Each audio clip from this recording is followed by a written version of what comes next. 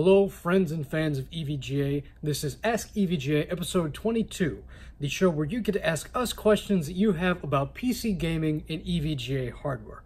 Uh, let's launch right into our questions. Uh, the first one here comes from Angry Toast. He asks, will you ever make a 240 millimeter hybrid kit, especially for the 2080 Ti as you did for the Kingpin?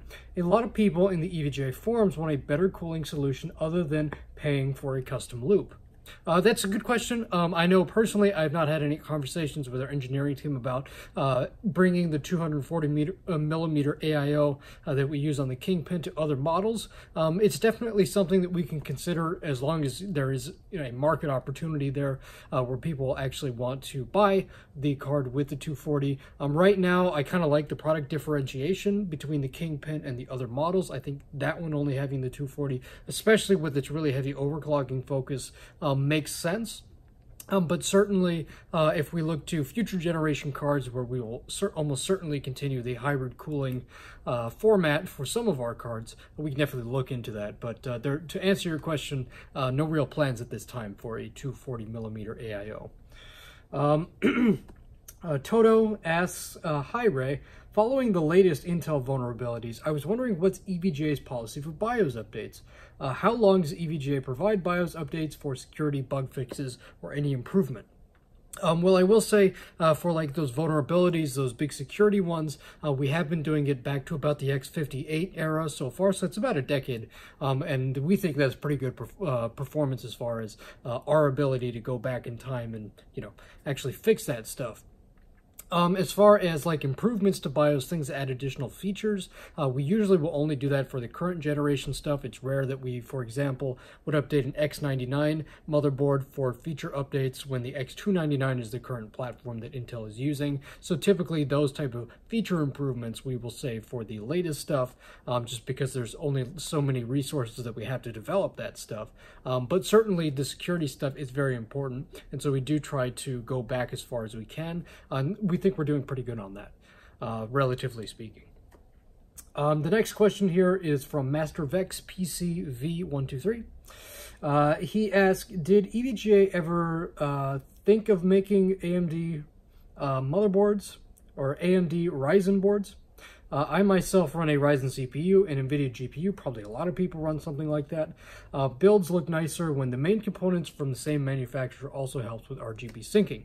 Uh, yes, on that uh, latter point, uh, you do have a good point there. The main component matching in the system and the RGB synchronizing is easier when it's all one manufacturer's unit. If it's all EVGA, uh, then LED sync works really nicely.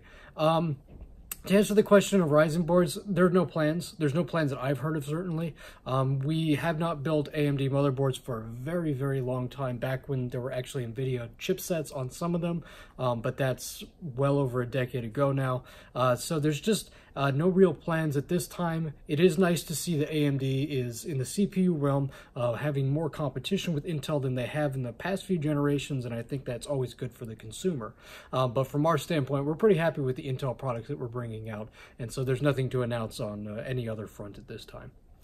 Um, moving on. Hatchum99 says, why does the Z370 FTW only support M.2 NVMe and not M.2 M or B key? Uh, typically on our boards now, we're pushing more towards the PCIe and the NVMe support. We see from customers that that's the real big demand, uh, is getting that PCI Express support for M.2 SSDs in particular.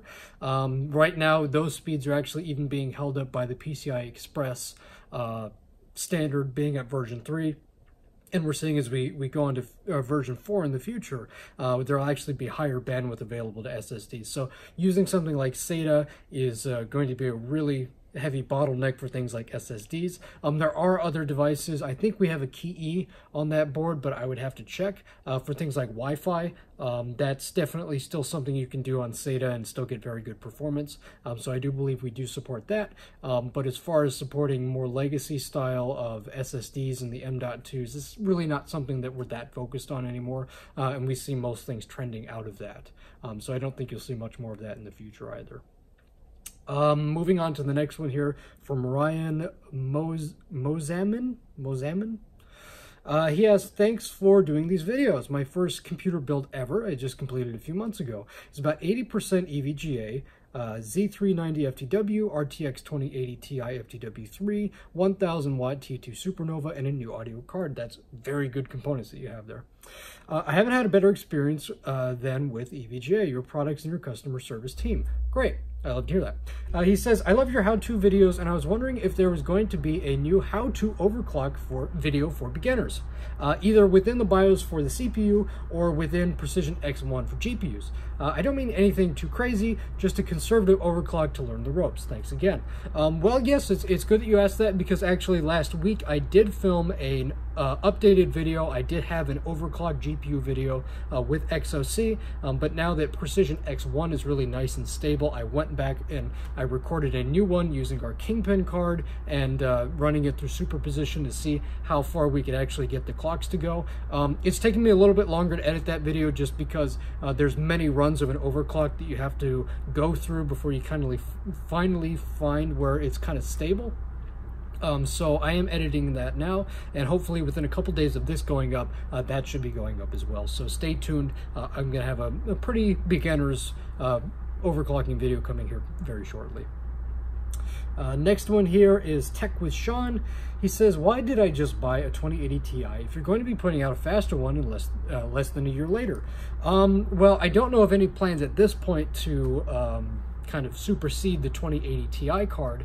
Um, that is the fastest card right now. Um, but in my opinion, it's always kind of a year away as far as, you know, GPU technology and the advancement of it. Even if you go all the way back to 3DFX Voodoo cards in the late 90s until now, there's always been about, say, a one to two year span before the next great thing comes out, whether that be on our side or the competitor's side.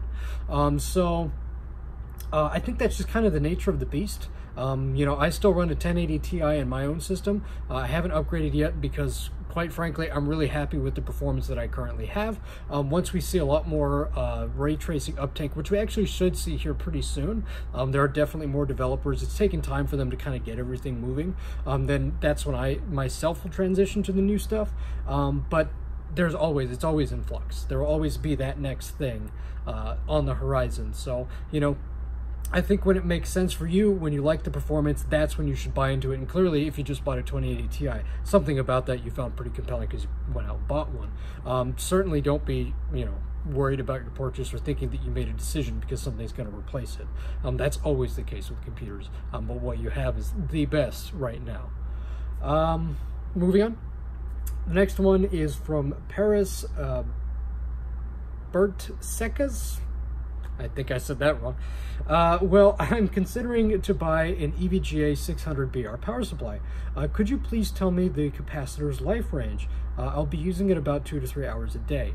Hmm, that's a tough one because every individual capacitor inside a power supply should last a good 10 years, um, but there's always the possibility that one fails prematurely and then that in turn could make the whole unit fail.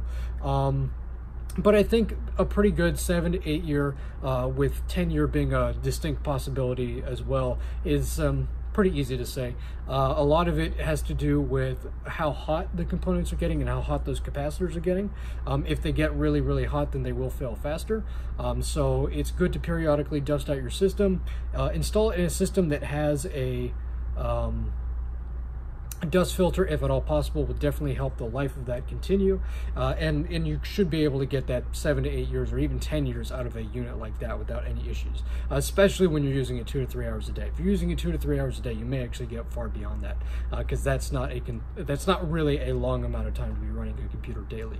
Um, a lot of people uh, will kind of leave their computers running 24 7, uh, which I've never personally recommended for a few reasons. One, it uses more power. Two, it is harder on the power supply. Uh, so it will fail faster. And three, it can fail much faster because if there's ever any surge, your system is always running, therefore any surge is going to hit that power supply while it's on. Um, so my recommendation is if you're not using it, turn it off. And if you're only using it a couple hours a day, should last a very long time. Uh, and finally, coming back around to the little fun that we had with Gamers Nexus in the last video. Uh, they are now announcing that uh, GN bath mats are coming to a store near you. Uh, so I think that's a victory for us, getting the PC Master Race into every aspect of a gamer's life. Um, realistically, uh, shout out to Gamers Nexus and to Steve's team. Uh, I really respect the work that they do. Um, we work with them. Uh, we've provided products to them before in the past, but we always do so with the knowledge that uh, they will always give their honest opinion of our products and they can cut through the bull uh, to give us what they really think and that is something that can be commended quite highly. So uh, that's it for this week of ask evga as ever if you have questions about evga products or pc gaming uh, put your questions in the comment section below and i will catch that in a future episode. You have a good one